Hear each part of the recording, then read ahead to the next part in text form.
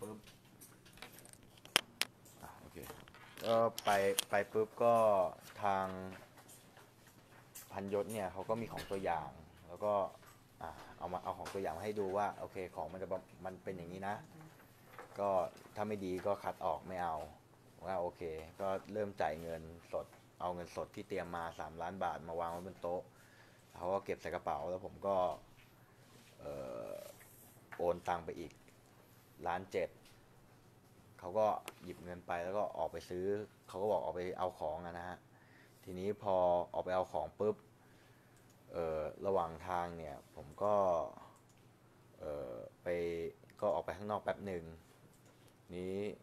คนจีนที่อยู่เนี่ยเขาก็บอกผมว่าอะเฮ้ยของมาไม่ไม่ตรงนะหนึ่งไม่ตรงสองจำนวนไม่ครบ ให้ผมรีบกลับมา ผมก็รีบกลับมาดู พอกลับมาดูปุ๊บอ้าวของไม่ครบ แล้วก็ คุณภาพไม่ได้ผมว่าเอ้ยผมไม่เอานะ ผมไม่รับ ทีนี้เดี๋ยวทางเคยเราเคยเห็นของตอนครั้งนี้ไหมเคยเห็นของตอนครั้งนี้ไหมเห็นเป็นของได้ดูของไหมไม่ได้ได้เห็นของไหมหรือว่าคำพูดเขาเฉยเห็นครับก็เห็นก็ผมกลับมาปุ๊บผมก็ดูว่า เอ้ยของมันไม่ได้นะ อย่างเงี้ยฮะพอของไม่ได้ปุ๊บผมก็อ่าโอเค ผมบอกไม่รับเขาก็เดินไปเดินมาแล้วก็ขึ้นไปหยิบกระเป๋าใบหนึ่งมา แล้วก็เอามาวาง ไว้ข้างขวาเนี่ยฮะแล้วก็บอกว่าอ่านในนี้มีปืนจะเอาไง แต่ก็ผมก็ไม่เห็นปืนนะ ผมต้องเรียนตามตรงว่าไม่เห็นปืนเขาก็อ่านในนี้มีปืนจะเอาไงว่าในใจก็ต้องกลัวก่อนแล้วก็ต้องก็บอกเขาว่าเออเดี๋ยวเอองั้นผมฝากขายหน่อย ผมแล้วผมก็กลับไป ได้ตังค์คืนแล้วค่อยเอามาคืนผมแล้วกัน ผมก็เอาตัวรอดไว้ก่อนผมก็กลับไปเท่านั้นแหละฮะน้ากากใหม่ของประเทศ ผม ไม่ทราบครับ ก็คือ ผมไม่แน่ใจว่าเขาเอามาจากไหนๆเคยเคยได้ถ่ายปเข้ามารีแพ็คเข้ามารีแพ็คอีกทีครับ อ๋อเอาเอามาใส่กล่องยี่ห้อของเขาเหรอใช่ครับใช่ของไอ้ไทยเฮล ไทยเฮลงั้นนี่ครับ บริษัทเลยเขาเลยป่ะครับไปซื้อที่บริษัทเลยใช่ไหมใช่ใช่ครับ ไปซื้อที่ไทยเฮลใช่ครับค่าเสียหายของท่านเท่าไหร่นะสามล้านของค่าเสียหายของท่านที่ท่านซื้อสี่ล้านเจ็ดครับล้านเจ็ดก็คือเงินสดสามล้านแล้วก็เงินโอนล้านเจ็ดครับ ที่ก็ที่หนึ่งที่บอกไม่ได้คุณภาพ เพราะว่ามันมันบางอะครับ มันของไม่มีคุณภาพอะครับ ใช้ไม่ได้เนี่ยแบบเนี้ยบางๆอย่างเงี้ยใช่ไหมครับว่าบางกว่านี้อีกเอานะสินค้าตัวอย่างให้ดูอย่างหนึ่ง ครับ แต่เวลาเอาของจริงมาที่จะเอามาขายเนี่ยปรากฏว่ามันไม่ไม่คนละอย่างกัน ข้อที่สองจำนวนที่เขาเอามาให้เรา ที่เราบอกไม่ครบเนี่ยมันขาดอยู่เท่าไหร่อะถ้าตามที่มองด้วยสายตาน่าจะประมาณสองแสนชิ้นครับเอ่อต้องการซื้อเนี่ยตอนนั้นตกลงน่าจะตกลงซื้อที่สี่แสนชิ้นครับ ยอดซื้อขายประมาณหกล้านกว่าบาทครับหกล้านสองแสนแล้วส่วนที่เหลือเขาบอกว่าจะมาให้เราอีกภายหลังหรือว่าเอ่อส่วนที่เหลือเนี่ยก็เขาบอกว่าก็จะตามมาเขาบอกอย่างนี้ครับจะไม่บอกเวลาไม่บอกเวลา เคยซื้อขายกี่ครั้งแล้วครับเออเคยมาซื้อก็คือไม่เคยซื้อขายสำเร็จนะฮะเคยเข้ามาครั้งหนึ่งแล้วก็อะใช่ครับใช่ก็จะเป็นการแพ็คอย่างเงี้ยแหละฮะแต่แต่ไม่ใช่กรรมนี้นะไม่ใช่ เคยเคยเคยเคยซื้อมาก่กอล่อนงนี้ไหมใช่กล่องนี้ไหมไม่ใช่กรรมนี้เลยไหมที่ไปติดต่อคุยกันนี่คือของพันยศนะที่เขาผมเขาก็น่าจะแพ็คบ่อยฮะ ผมขออนุญาตลักษณะเป็นแบบนี้เออวันนั้นที่เข้าไปแต่ลักษณะอย่างเงี้ยแหละฮะ ลักษณะอย่างนี้แหละครับ ก็ประมาณนี้แหละฮะอืมตอนตกลงซื้อกันเนี่ยเราตกลงซื้อเรื่องของไทยเฮลเลยได้ได้ระบุไหมก็เราก็ไม่ได้ระบุแบรนด์นะฮะ เราไม่ได้ระบุแบรนด์ คือเรามีบอกว่า เอามันจะมีอยู่อันหนึงก็คืออะอยากได้คุณภาพยี่ห้อชื่อไมล์ครับอยากได้คุณภาพแบบนี้ตามของตัวอย่างที่เขาเอามาให้ดูอะนะฮะอันนี้เงินของเราที่เราให้พันยศใช่ครับจากสามล้านที่ว่างกับโต๊ะนี่เงินของของนี่เราใครถ่ายให้ก็คือก็ถ่ายครับแบบถ่ายไว้ใช่ครับแสดงว่ามีพยานใดที่ตลอด มีพันยศก็นี่คือพันยศที่วันนั้นถูกไหมใช่ครับเสื้อแดง ก็เขาเอาปืนมาวางไว้ ก็เอาใส่คือคืออย่างนี้ฮะเดี๋ยวผมอธิบายให้ฟังคือเขาเขาเอากระเป๋าเงินเนี่ยเขาเก็บไว้ตรงนี้แหละแล้วเขาออกไปตอนเขาเอาปืนมาวางเนี่ยเขาบอกเอากระเป๋ามาวางเขาวางไว้ตรงเนี้ยเอาวางไว้ใน ไว้ตรงเก้าอี้อะฮะเก้าอี้พันยศพันยศพันยศอันนี้มันเราของใช่ไหมวันที่รับของไปเอาของมันคาบเกี่ยวกับวันก็มันจริงๆมันต้องวันวันเดียวกัน แล้วก็คาบเกี่ยวไปอีกวันหนึ่ง ใช่ คือไปตอนประมาณกี่โมงตอนนั้นดึกแล้วสี่ห้าทุ่มอ่าประมาณห้าทุ่เริ่มมที่จะมีต้องมีโอนมัดจำก่อนใช่ไหมกก็ตอนแรกเขาให้โอนเต็มจำนวนเลยครับ แต่ว่าผมค่อยๆยื้อเวลารอดูของนะฮะผมก็เลยจะช้าหน่อย สิบแปดก็ก็เห็นที่ไม่อกี้บอกมีโอนโอนล้านเจ็ดนี่คือมัดจำเหรอเหรอก็ใช่ถือถือว่าเป็นมัดจำนะครับ เพราะว่าโอนก็อ่าอยู่ตรงจริงบ้านจริงของฉันจริงๆที่มันมีก็จานไปสีส้มไปไปจ่ายพร้อมกันทีเดียววันนั้นเลย ก็คือวางเงินสดสามล้าน แล้วก็เป็นเงินโอนเข้าไปเนี่ยอีกล้านเจ็ดกำตรงนั้นอ่าอ่าตรงนั้นเลยครับที่บ้านขอที่งฉันที่ออฟฟิศเขาเลยมีจานที่สีบส้มริษัทเขาเลยร้นของฉันอะแต่วันวันเวลาก็ต้องอยู่ที่วันวันโอนเงินนะมีใช่ก็เลยตรงใช่นั้นครับอะก็เป็นวันที่สิบสิบแปดสิบแปดสิบแปดอ๋อในในคราวเดียวกันเพียงแต่แบ่งแบ่งการจ่ายคือโอนหนึ่งจุดเจ็ดใช่กับเงินสดสามล้านกองเอาไปกอง มันก็เป็นคือคือจริง ๆ เดิมเขาจะให้เอาเงินสดไปทั้งหมดเลยไปจ่ายทีเดียว นี่แต่รวัถนรถที่พี่ไปวันที่เกิดเหตุอืมใช่ในรถที่ใช้ไปครับอ่ารถของครับแล้วก็น้ำแข็งอะนะ ครับไปไปกับใครบ้างตอนนั้นก็ผมทางผมไปกันสามคนก็คือมีผมมีน้ำแข็งแล้วก็มีคนจีนคนหนึ่งครับแค่นั้นแหละไอ้พี่เขาใส่สามคนหุ้นกันใช่ไหมเรื่องครับ สามคนเป็นหุ้นกันหรือเปล่าคือผมคือตอนนั้นเนี่ยเป็นเออเป็น ตอนนี้มันเป็นเงินผมนะฮะเพราะว่าผมชดใช้ไป คือจริงๆคนคนจีนเนี่ยก็ก็เป็นเพื่อนเขาอยู่แล้วครับ ที่ที่เขาก็ทำธุรกิจร่วมกันอยู่แล้วที่เมืองจีนด้วย จีนคือผมเออปแล้กวติก็ ทำนำเข้าส่งออกอืมครับ สินค้าอยู่ เราซื้อราคาเท่าไหร่แมทราคาแมทที่ซื้อตกลงซื้อตอนนั้นน่าจะประมาณ 15.5 ถ้าจำไม่ผิดนะครับต่อแผ่นเอ่อต่อต่อชิ้นต่อชิ้นใช่ครับเท่าไหร่ตกลงคือกี่ชิ้นก็หารเลยสี่แสนชิ้น สี่แสนครับ หารสี่จุดเจ็ดล้านครับสี่ เอ่อเจ็ดล้านต้องยอดรวมยอดจริงมัน6ล้าน2แสนห้าหมื่นถ้าจำไม่ผิดนะครับอ๋อแล้วส่วนส่วนที่ยังไม่ไม่เอาไป ผมหยุดโอนเพราะว่า เพราะว่าผม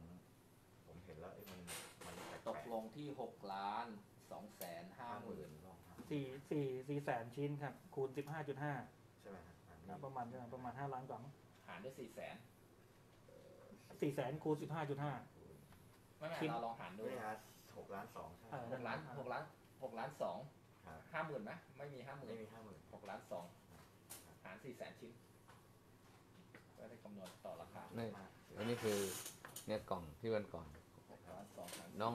น้องเมียชวลิตยงจะยุทธอะเนี่ยเขาก็มาซื้อกับพันยศ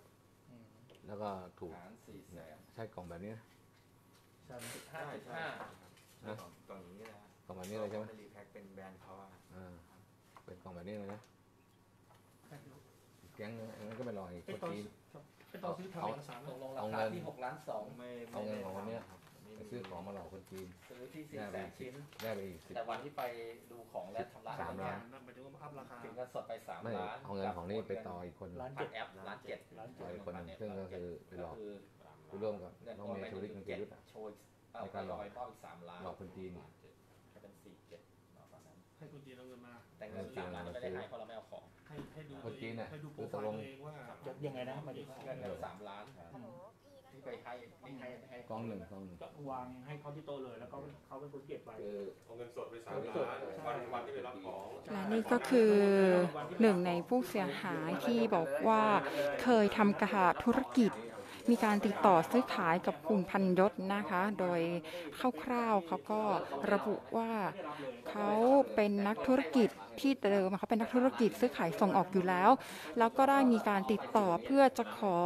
ออซื้อหน้ากากอนามัยกับคุณพันยศนะคะ โดยมีการตกลงที่จะซื้อขายกันจำนวนหน้ากากอนามัย4 0 0แสนชิ้นในราคา 6 ล้าน 2 ซึ่ง ระหว่างที่ทำการตกลงซื้อขายการล็อตแรกก็มีการนัดเจอกันเพื่อออจ่ายเหมือนเป็นมัดจำครึ่งแรก แล้วก็เป็นการนัดดูสินค้า และพอมีการนัดดูสินค้าเขาก็โอนเงินไปล็อตแรกครึ่งหนึ่งแล้วเมื่อเจอสินค้าก็พบว่าสินค้าไม่มีคุณภาพหน้ากากอนามัยบาง ก็เลยมีการเจรจาพูดคุยว่าเอองั้นขอ นั้นขอไม่มีไม่ซื้อขายต่อแล้วก็ สินค้าที่มาล็อตนั้นนะจาก 4 0 0 0 0 ชิ้นก็มาเพียงแค่ 2 0 0 0 0 ชิ้น ซึ่งก็ไม่ครบ รวมถึงคุณภาพหน้ากากก็ไม่ตรงตามที่ระบุไว้ เขาก็เลยอยากจะขอเจรจาต่อ แต่จังหวะนั้นที่อยู่ระหว่างการเจรจาทางผู้เสียหายก็บอกว่าคุณพันยศนั้นได้นำกระเป๋าขึ้นมาระหว่างเจรจาแล้วก็บอกว่าในกระเป๋านั้นมีปืนอยู่ จะเอาอะไรอีกไหม ปรากฏว่านัดกันอยู่ประมาณสักสามครั้งเขาก็ไม่ได้มาสักครั้งหนึ่งเพราะทางผมก็จริงๆก็อยากจะคุยกับทางเขาแล้วว่าเอ๊ะในเมื่อมันซื้อขายกันไม่สำเร็จเนี่ย เราจะขอเงินตรงเนี้ยคืนได้ไหมแล้วตำรวจก็ดำเนินคดีไปถึงไหนไหมยังเลยครับยังเลย ยังไม่ได้ยังไม่ได้ร้องทุกข์เลยไม่ได้อะไรยังเลยยังเลยครับยังเลย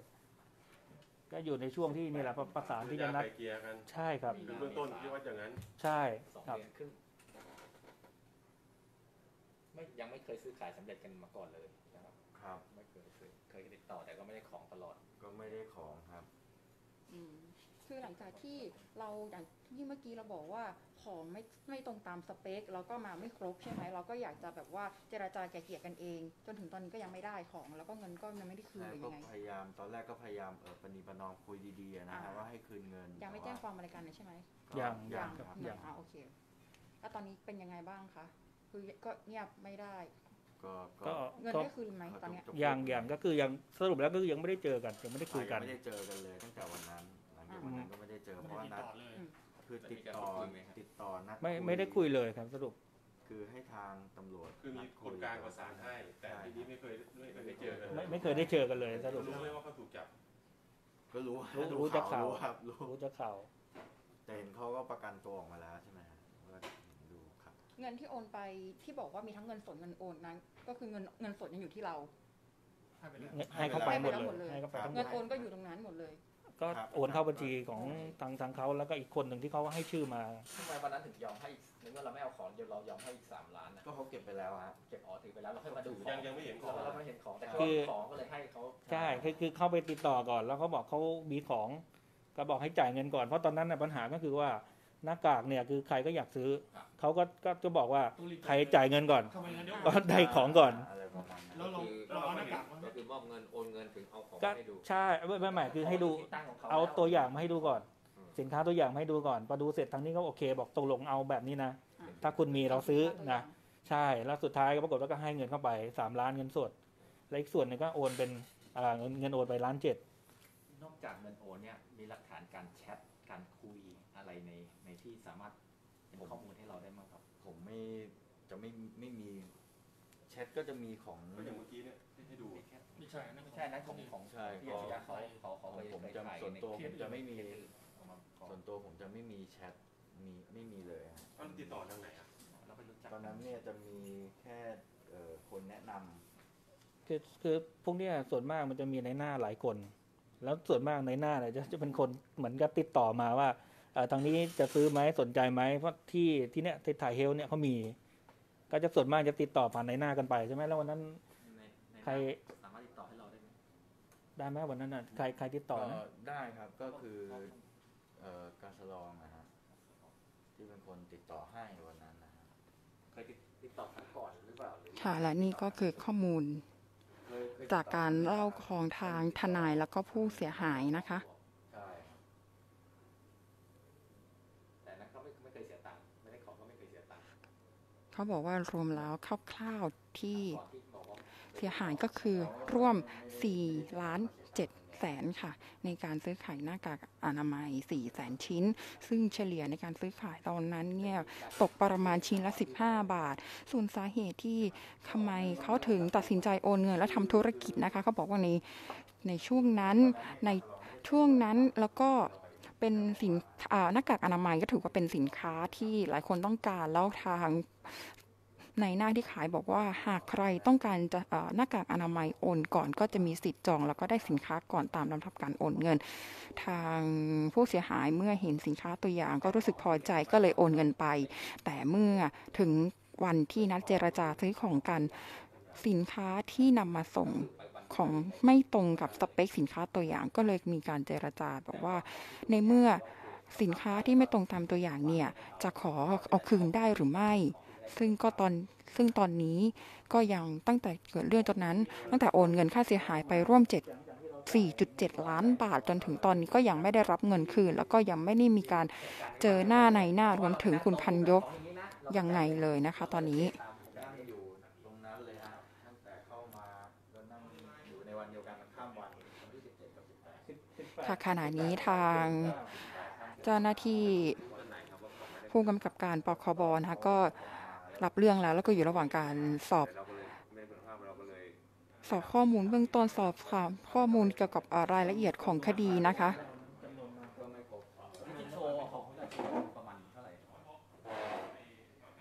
ที่เราเออของได้เดี๋ยวเราจะซื้อเนี่น่าจะประมาณตอนนั้นเขาน่าจะมีประมาณคือผมไม่อยากเดาฮะแต่ว่าถ้าคาคะเนน่าจะประมาณ20ลายคิดว่านะฮะที่โชว์ที่มีคุณภาพ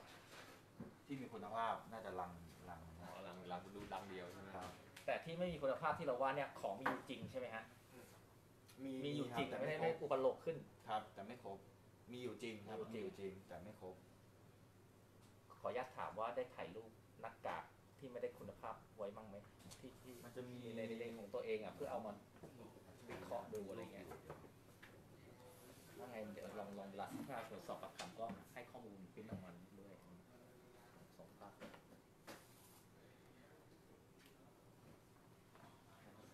ก็มีการประมูลซื้อขายเดี๋ยวลองสอบไปก่อนแล้วมาวิเคราะห์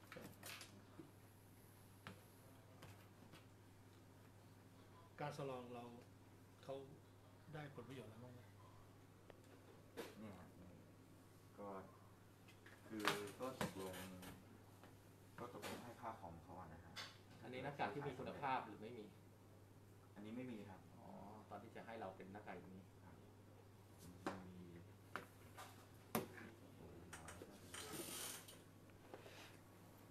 สอบไว้แล้วว่าเป็นหน้ากากคุณภาพไม่คุณภาพอะไรมันต่างกันยังไง ค่ะ และนี่ก็คือบรรยากาศความคืบหน้าของคดีที่มีความเกี่ยวเนื่องทางผู้เสียหายมาแจ้งความกับคุณพันยศนะคะ ที่โต๊ะคุยกันวันนั้นเลยอันนี้ของที่เราจะเอาใช่ไหมใช่ของที่จะเอาแต่แต่แบบถ่ายแบบกว้างๆนะไม่ได้ถ่ายตัวสินค้า อันไหนที่ไม่เอา อันเนี้ยอันอันนี้เอา อันไหนไม่เอา อันไหนไม่เอาอีกทีพอจ่ายเงินแล้วบอก คืออันนี้เนี่ยข้างในมันไม่มีไส้กรองคนละครับสีสีเขียวนี่กลับอ่อด้านนก็กลับด้านก็ค่ะเราอาจจะต้องขอยุติการถ่ายทอดสดและสดตอนเพียงเท่านี้นะคะเดี๋ยวนี่ตัวนี้มือเราเนี่ยสามอัด้านนนี้เป็นเราอันเนี่นี้ยเป็นเราเนี่ยเดี๋ยวเวลาเราสอบนะเราดูนี่แล้วก็ส่งผ่านข้อมูลตอนนี้เจ้าหน้าที่รับเรื่องไว้แล้วอยู่ระหว่างการสอบปากคำ อยู่ระหว่างการสอบสวนข้อมูลจากผู้เสียหาย เพื่อนำมาวิเคราะห์เกี่ยวกับคดีนะคะ ว่ามีทิศทางเป็นอย่างไงผมร้อยเวรปิงได้ส่งให้พี่ก็ได้แล้วก็ค่ะระบุประเด็นอะข้อมูลที่เขาแล้วเงินโอนนี่โอนหลังจากนี้นานอาจจะต้องยุติการตามไปเลยฮะตามปิดปิดๆเลยเรายุติการถ่ายทอดนะคะโอนตอนไหนนั่งอยู่ครับ